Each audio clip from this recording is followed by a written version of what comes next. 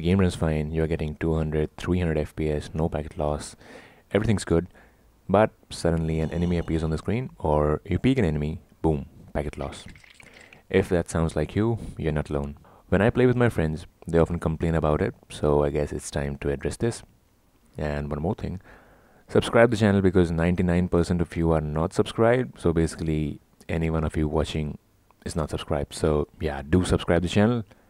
Anyways first of all obviously restart your router but i guess most of you are smart enough to do that so you must have done that already right? Okay moving on to the second step. If you are on wi-fi see if you can switch to ethernet. If you can good. If you cannot no worries. We're gonna see a few other steps upcoming in the video that will help you regardless. Okay so uh, go to the search bar and open up your control panel once you're in the control panel click on network and internet in here network and sharing center. And once you're here on the left hand side you will see change adapter settings. Click on that and here you will see the connections. If you are connected on the Wi-Fi or the Ethernet so select the one that you are connected to. Right click and disable. Once you disable it you can go ahead re-enable it. If it fixes the issue good great go ahead and play the game.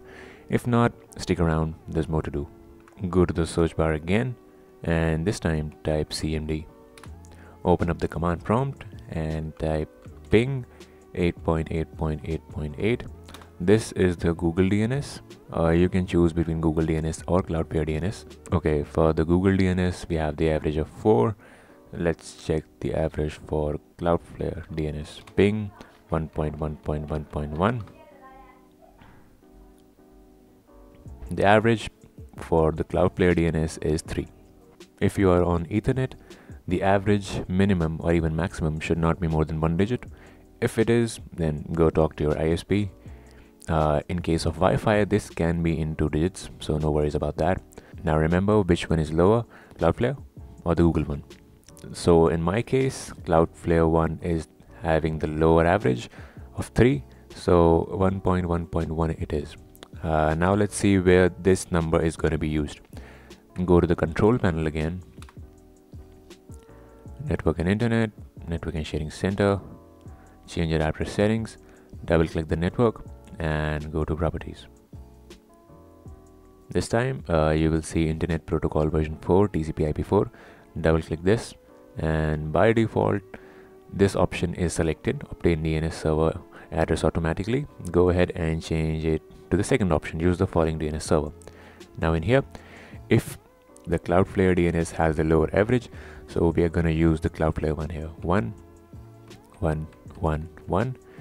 And for the alternate DNS server put here one zero zero one. But if in your case it was the Google DNS that had the lower average so what you're going to do here is get rid of the ones and zeros and in here type 8888 and the alternate DNS server should be 8844 just hit OK OK and close go to the search bar again and this time search for firewall and you will see allow an app through Windows Firewall. Click on this. Another window will open up. Scroll down to find Riot Client. And as you can see, Riot Client is already added in my case. But just in case you do not have it added, click on change settings up here. And on the bottom, you will see allow another app.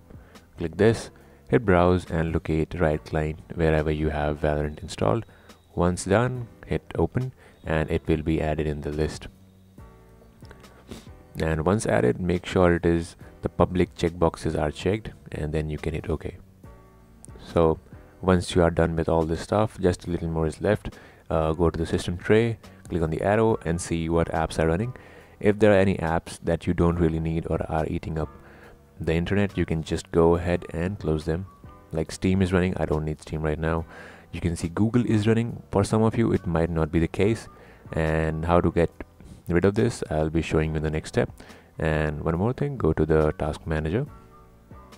In here you will see a few startup apps um, I have disabled most of the startup apps that are not really needed by me. So you can go ahead and do the same. So they don't open up along with your windows and start eating up your data. Now for the last step is open Google Chrome. Go to the settings and on the left hand side you will see system. Go to system and in here you will see continue running background apps when Google Chrome is closed by default this is turned on. Go ahead and disable it. This will prevent Chrome from running in the background when you are not using it. If you have done all these steps and still face the same problem which is not likely to happen but just in case it keeps happening go to the system tray right click the internet icon and go to network and internet settings.